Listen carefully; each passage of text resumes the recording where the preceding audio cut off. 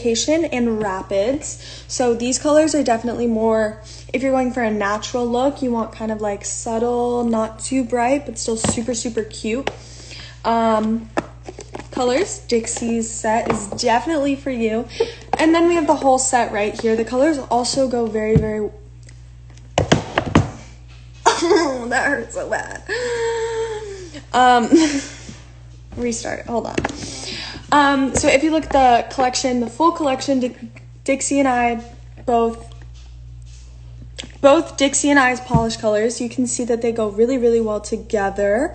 And the colors all together, overall, super cute. We're so good at picking colors. Look at that. so what was fun about um I'm gonna ask myself questions. So what was fun about creating this collection was definitely the fact that we did it during pandemic world, which meant that we didn't actually get to meet the Orosa team in person. Everything happened over Zoom. So we did everything. Fr- Ugh, I keep hitting myself.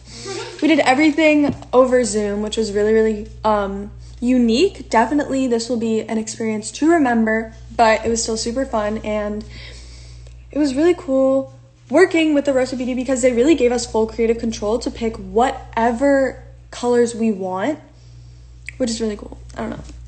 I thought it was super fun because we really did get to make this super, super unique to us.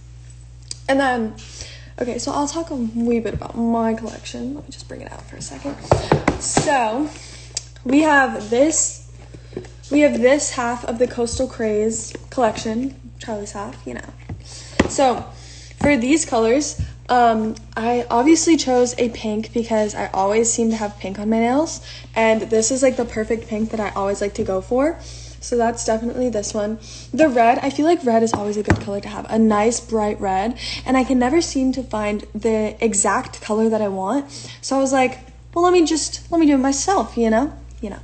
And then the blue, obviously, I love blue. My hair is blue.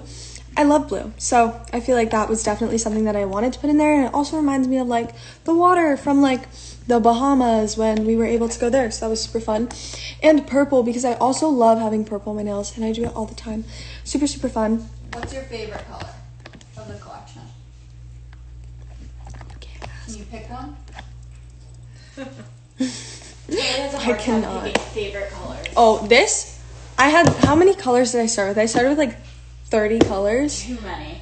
And they were like, okay, you need four. And I was like, alrighty. And then I already know because I talked to Dixie about this. Her collection is definitely, she likes, Sorry, my shoe just came off. oh, She's alive. she's alive. Hi guys, I'm so sorry. I have an awful, awful migraine, and I'm going to go because things keep slamming, and it's I can't. So keep my eyes I'm, so I'm going to explain her collection. But Charli knows everything. I love you all so much. This was an amazing collection to work on. Bye. She's struggling. She's very, very bad migraine. But it's okay because she told me everything before. We've talked about this many times. So, her collection, she likes to wear more of the neutral colors like um a sand color. Oh,